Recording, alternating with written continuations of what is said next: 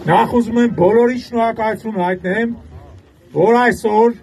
այս միամուր կամքով հավաքվել եք այստեղ բոլոր դժվարություններին ի հեճուկս։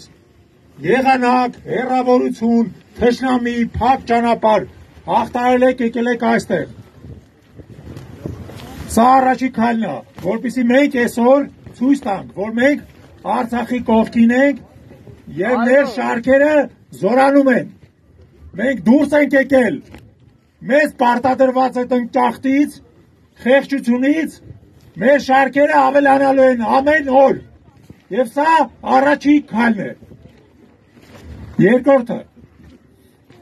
Արցախը արդեն 105 տարի է պայքարում է այսպես կոչված ադրբեջանական հանրապետության կեղծ սուլթանական միավորման դեմ մի միավորման, որը ստեղծվել է հայկական, թալիշական, լեզգիական ուրիշների հողերի վրա, որը աշկա դրել ուրիշների հողերին եւ որը չի ուզում կշտանա։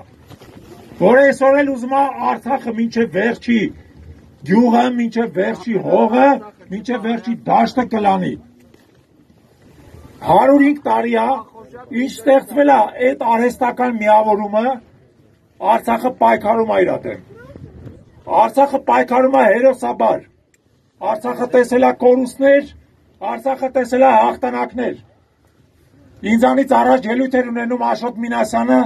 որ Արցախի լավագույն հաղթանակների կերտողներից մեկն է։ Սրանից 31 տարի առաջ 92 թվականի մայիսին Արցախի զինված միավորումները ճեղքեցին Արցախի պաշարումը, ազատագրեցին Շուշին, Բերձորը դուրս եկան այստեղ եւ վերամիավորեցին Արցախ Հայաստանի հետ։ Ցավոք մեր աշկի առաջ արյունով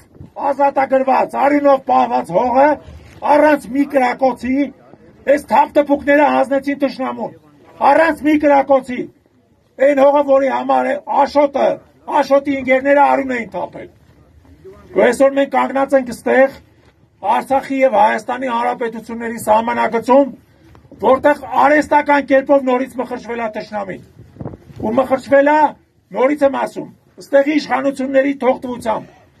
Ամեն ինչ կարելի էր անել, որ դա տեղի չունենար, բայց տեղի անեցել։ Թուրքը Բաղրամյան 26-ում։ Եվ հիմա, հիմա մենք վճռականորեն պետք է ասենք, այս ճանապարհը նորից բացվելու է։ Մենք եկել ենք դրա համար խաղաղ այսօր ասենք։ Խաղաղ բացեք այս ճանապարհը։ Չբացեք Ուժով ենք բացելու, ոնց որ բացել են 31 տարի առաջ։ Ուժով ենք բացելու։ Մի փորձեք մեր ուժը։ Հիմա, որպեսի մենք ուժով բացենք, գոռը ասեց, այս ժամանակավոր է։ Մենք պետք է այդ ուժը հավաքենք։ Մենք այդ ուժը պետք է հավաքենք։ Ու ես ուզում եմ ասեմ մի քանի པարզ բան, որի իմ կարծիքով մենք բոլորս միասին պետք է անենք, որպեսի հայոց ուժը վերականգնվի։ Առաջինը մենք պետք է անվերապահ զինվորագրվենք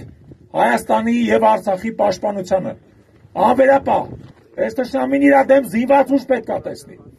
Եվ ոչ թե զինված ուղակի ավտոմատով։ Զինված ժամանակակից լավագույն նորագույն զենքով ունենալով լավ սպաներ, լավ համակարգեր, լավ մարտական պատրաստություն։ Եկեք ոչ մեկս հարց չտանք ում երեխեն ա կռվելու։ Այս թափթփուկները անընդհատ գործում են այդ հարցով մեզ շփոթեցնեն։ Կրվելու եք ամեն մեկս ու ամեն մեկիս երեխեն։ Ոչ մեկիս երեխեն, ոչ մեկիս լավը չի։ Ամեն մեկս եկեք մեր վրա պարտավորություն վերցնենք, որ մենք մեր զենքով, մեր երեխեքը իրանց զենքով